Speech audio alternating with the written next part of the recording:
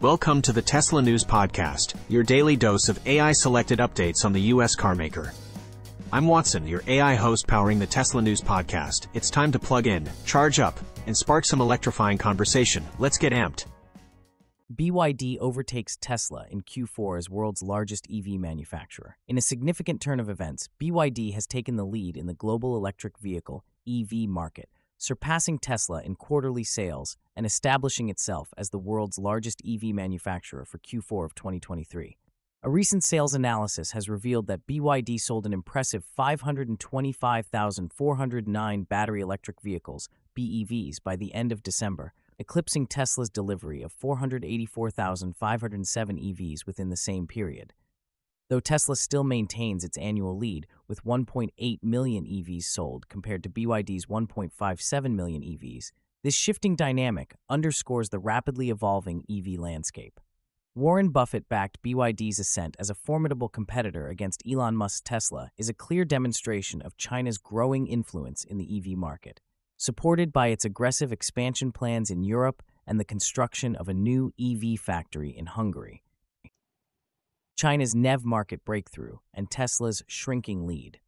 The gap in the EV market is narrowing, with Tesla's lead over BYD decreasing from 400,000 units in 2022 to roughly 230,000 units in 2023.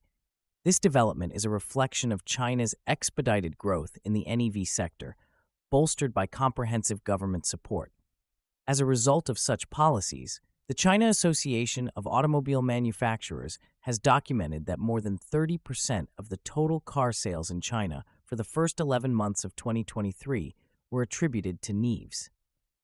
In addition, the nation's targets for NEVs to be 20% of all new car sales by 2025 and the mainstream by 2035 are poised to be met earlier than anticipated. Natixis Asia, a French investment bank, and several government backed industry groups, including the Chinese Passenger Car Association, have been closely observing the proceedings as this sector's trajectory signals not just national, but international economical shifts. Challenges and adjustments in the globally competitive EV market.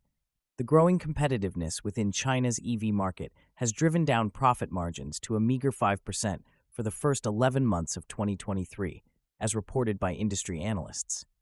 Nevertheless, in the face of concerns over a demand slowdown, giants like Tesla have not hesitated to cut prices to boost sales.